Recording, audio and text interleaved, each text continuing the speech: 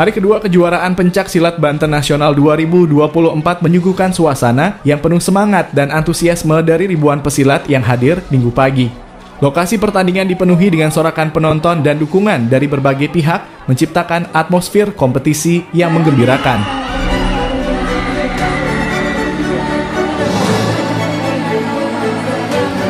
Segmen-segmen pertandingan dari berbagai kategori diperlombakan secara berurutan, mulai dari kategorisasi usia muda hingga senior yang menunjukkan keberagaman dalam tingkat kompetisi. Setiap kategori tampil dengan karakteristik unik dan kekhasan masing-masing, menciptakan keindahan tersendiri dalam setiap pertunjukan seni bela diri ini. Semangat bertanding para pesilat sangat terlihat dari ekspresi wajah dan gerakan mereka di arena.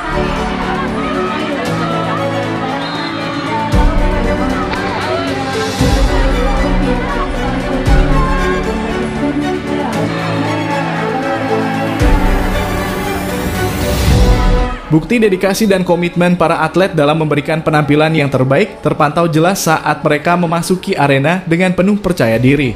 Pesilat tidak hanya berfokus pada teknik, tetapi juga menampilkan strategi yang dirancang dengan cermat untuk mengalahkan lawan. Dalam setiap pertandingan, ketangkasan dan kecepatan gerakan menjadi kunci, di mana pesilat melakukan serangan maupun pertahanan dengan presisi yang luar biasa. Hal ini tentunya menambah daya tarik pada pertandingan dan menjustifikasi penantian penonton untuk melihat aksi-aksi terbaik dari para juara. Dengan strategi yang matang dan ketangkasan yang telah diasah, para pesilat berjuang tidak hanya untuk meraih kemenangan, tetapi juga untuk membuktikan kualitas dan identitas seni bela diri pencak silat.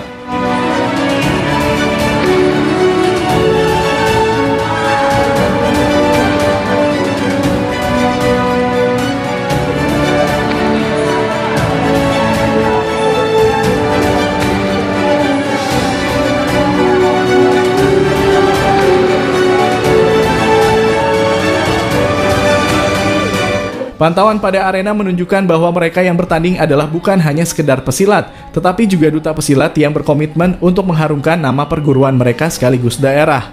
Piala Menteri Pendidikan dan Olahraga dalam kurung Menpora merupakan salah satu penghargaan terpenting dalam dunia pencak silat di Indonesia. Bagi para pesilat, piala ini bukan sekedar trofi, tetapi melambangkan usaha, dedikasi, dan semangat juang yang tinggi. Setiap kali kejuaraan berlangsung, harapan akan membawa pulang piala dan medali menjadi motivasi utama bagi pesilat dari berbagai perguruan. Ini mencerminkan nilai-nilai luhur yang diusung oleh pencak silat seperti disiplin, kerja keras, dan saling menghormati antara sesama pesilat. Palapa TV Banten mengabarkan.